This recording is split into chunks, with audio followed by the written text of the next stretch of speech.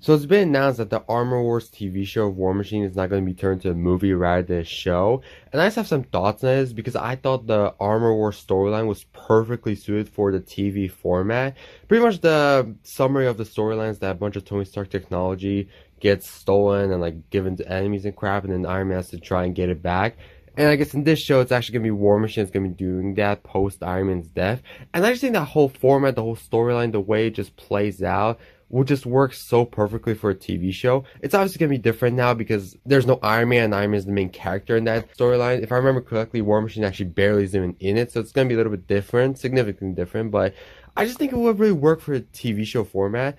And I don't know how far they are into production of the show, but I'm assuming a bunch of writing was done, so there's probably gonna be a lot of rewrites from show format to movie format, and I just don't know how that would work.